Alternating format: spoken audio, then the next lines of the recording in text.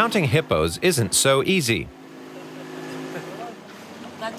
There are two.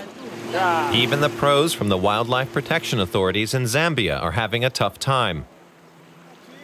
The slippery characters are being counted here on the Kabompo, the river bordering West Lunga National Park in northwestern Zambia. Ah, but you shouldn't go very near. Otherwise, The hippos aren't wild about being disturbed. that thing is dangerous. Don't, let's not again. Until money started coming in from the International Climate Initiative, patrols on the Kabompo were rare, but the funds enabled them to buy a fast boat. Wilson Zulu takes his team out every day.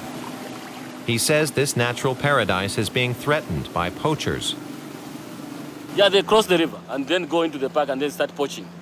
Yes. So it's very easy for us, if, especially when we find the boats uh, on, the, on the banks of the river.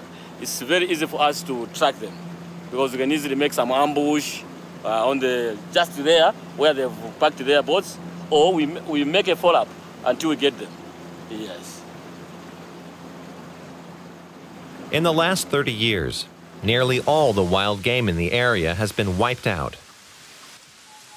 When refugees from the Angolan War took shelter in these woods, the animals here were a crucial source of food. Now all that's left are some birds and a few crocodiles and the hippopotamuses. But now that the Forest Protection Project has brought money into the region, there's better monitoring, which helps prevent not only poaching but also illegal deforestation. The protected area covers 4,000 square kilometers. Here, Zambia's evergreen forests are